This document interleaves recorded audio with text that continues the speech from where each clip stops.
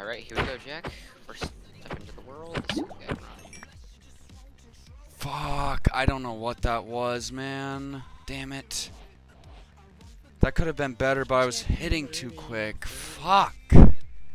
I think I'm just gonna. Oh, I think I'll make my character actually like right now.